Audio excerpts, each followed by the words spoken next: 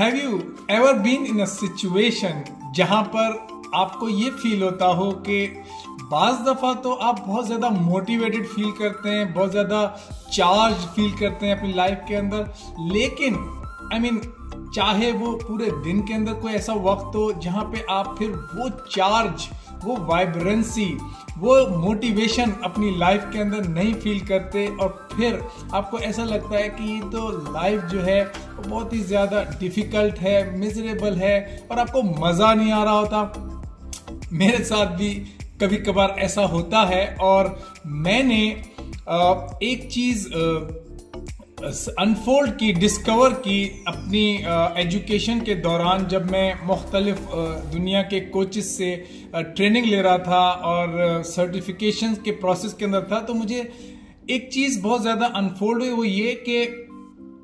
ये जो पूरा एक्सपीरियंस है कि आप अपने लाइफ के अंदर किस तरीके से मोटिवेटेड रह सकते हैं और चार्ज फील कर सकते हैं और इंस्पायर्ड एक्शंस ले सकते हैं तो पहली चीज़ जो उसके अंदर मैंने डिस्कवर की वो ये है कि it is all about your thought process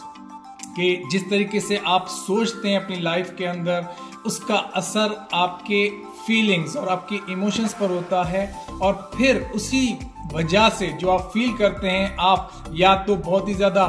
inspired actions ले रहे होते हैं, या फिर आप जो है वो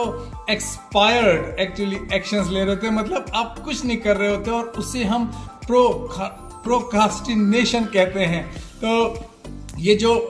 वक्त ज़ाया हो रहा होता है और ऐसा फील हो रहा होता है कि हम जो है वो बस अब कुछ भी नहीं करने का दिल चाह रहा, ऐसी सिचुएशन के अंदर हमें सबसे पहले ये करना चाहिए कि अपने इन्वायरमेंट को चेंज करना चाहिए बिकॉज़ इन्वायरमेंट जो होता है वो बहुत ज़्यादा कंट्रीब्यूट करता है। मैं इन्वायरमेंट ये नहीं कह रहा कि आप जो है वो कहीं बाहर मुल्क चले जाएँ या किसी और सीनरी वाली जगह पे चले जाएँ, नहीं। आप पाँच दस मिनट के लिए उस जगह से उठें और वॉक करें और थोड़ी देर के बाद जब आप मुख्तलिफ़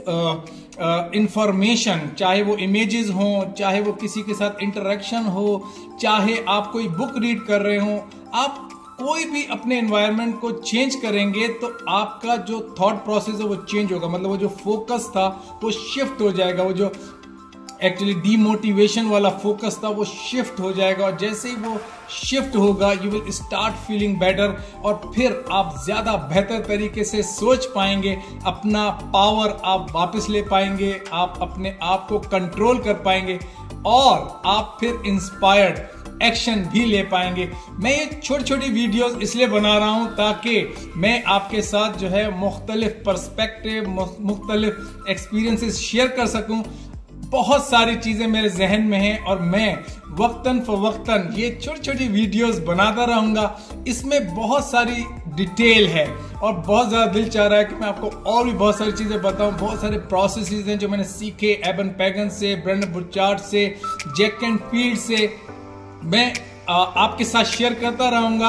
आपके जहन में अगर कोई भी क्वेश्चन है, आप ज़रूर कमेंट्स के अंदर जो है वो पूछिए और मैं खुद आपको उसका रिप्लाई करूँगा। Thank you very much